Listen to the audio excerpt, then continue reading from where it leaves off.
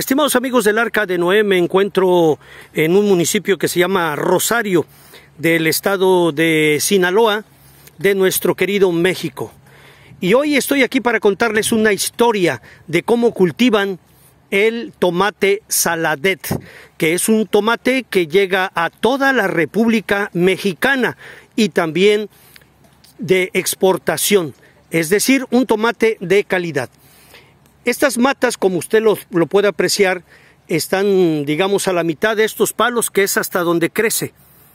Y es un tomate que lo cuidan mucho para que sea de calidad. Y aquí está mi amigo Sergio. Sergio Nevares. ¿Sergio qué? Nevares. Nevares. Sergio, platícanos algo de cómo cultivan ustedes el tomate saladet. No, oiga, pues es que pues tenemos todo, pues hay que dar muchos fierros de de tractores, ¿verdad? con tractores y, y ya se llega a alquilar.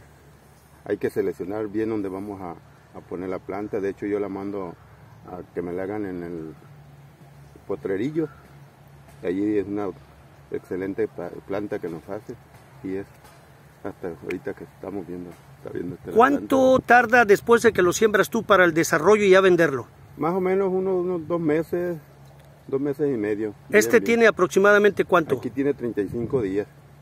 35 días. 35 ¿Cuáles son? días de la plantada. ¿Cuáles son los lugares de Sinaloa donde más tomate tienen? Pues aquí el municipio de Rosario, eh, Culiacán, eh, Villa Unión, La Cruz.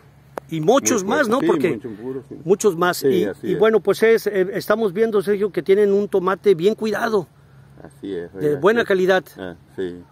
Sí, Perfecto. pues le hacemos la lucha y poco a poquito, aunque va pudiendo uno, va echando ganas. ¿Para cuándo viene ya la cosecha aquí más o menos?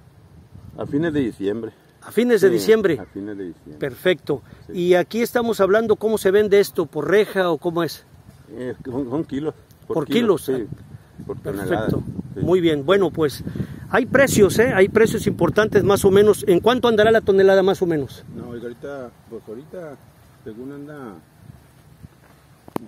bueno, pero aquí nomás de salida, ¿verdad? de entrada no, no sé, de salida anda 35 pesos según. 35 Pero cuando- pesos el qué? El kilo. El kilo, Sí, pero perfecto. cuando me, ni, se hace uno, cuando ya lo tiene uno, por ahí tiene mala suerte que ya baja. Bueno, baja y sube, así, Así está. es, así ha es. llegado a estar muy barato y a estar muy caro.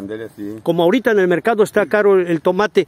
Y bueno, pues eh, le queremos dar las gracias a